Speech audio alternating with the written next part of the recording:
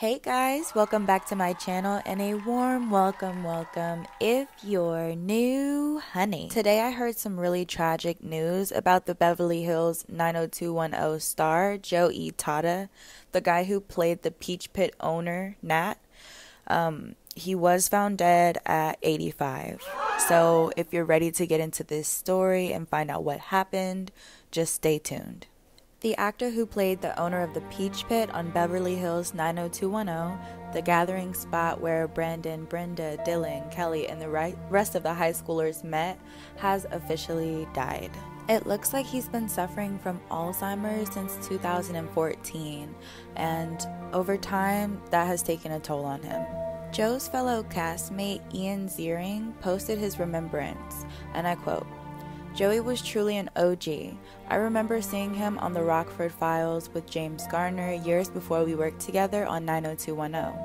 He was often one of the background villains in the original Batman series.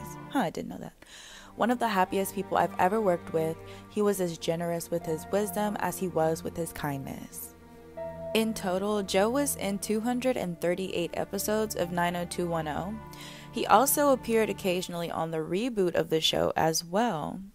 As for his other credits, he was on Magnum PI, The Rockford Files, Hill Street Blues, The A Team, and today, years old, I just found out that he was also on Batman. Which, now that I think about it, his face is definitely familiar. Like, I think I remember him seeing him on Batman, but I just never really realized it was him.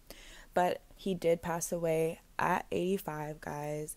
So, the silver lining of this, I will say, is that at least he reached age 85. That's a very long life. That's a very full life. You know, it sounds like, um, like you know, we all have to go at some point, but this doesn't really sound like the the crazy ones. Like I actually just did a story about someone who passed away. They got ran over, guys, and they got stuck in the tire part. Yeah. That's a that's one way that I don't think anybody on this green earth wants to go out. Like, okay, cuz that was just ridiculous. This, you know, he was just he was found deceased. I'm pretty sure he just passed in his sleep. You know. So there is a silver lining here. My prayers are still going to go up to his friends and family as well because whether or not the way that they passed, them still passing is definitely a loss and it's definitely a grievance. So, my condolences.